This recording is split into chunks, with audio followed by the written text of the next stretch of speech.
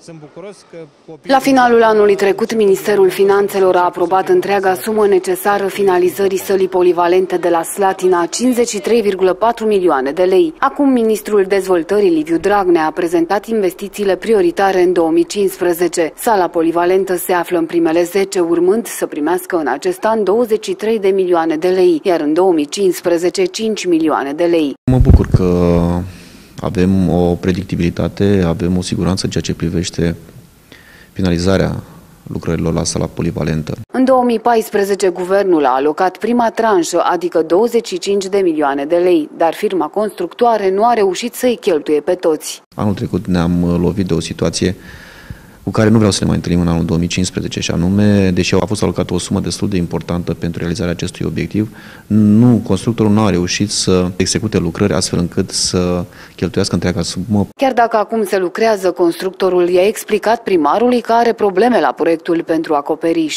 Este un acoperiș care uh, este destul de interesant ca soluție tehnică, tocmai de aceea a ridicat anumite probleme specialiștilor din uh, firma uh, respectivă.